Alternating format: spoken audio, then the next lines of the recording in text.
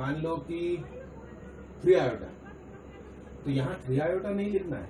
Imaginary part of beta यानी कि three लिखना है। Real part of alpha alpha अपने आप में ही रियल था। मैंने शायद उसको पाँच माना था। तो यहाँ पाँच का स्क्वायर है। यहाँ थ्री का स्क्वायर हमसे बोल रहे हैं कि ये जो क्वाड्रेटिक फ़ंक्शन है ये ग्रेटर देन ज़ीरो है और z उस समय ध्यान करो, उन्होंने रियल बोल दिया था।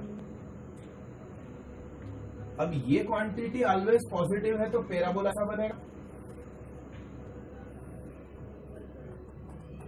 ये है और ये फ़ंक्शन है y